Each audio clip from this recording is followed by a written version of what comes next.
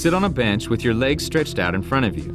They should be slightly below parallel while your arms are to the side holding the bench. Lean your torso back about 45 degrees. This will be your starting position. Now exhale and bring your knees in toward you while simultaneously leaning your torso up toward your knees. Hold the contracted position for a brief pause, then inhale and slowly return to the starting position.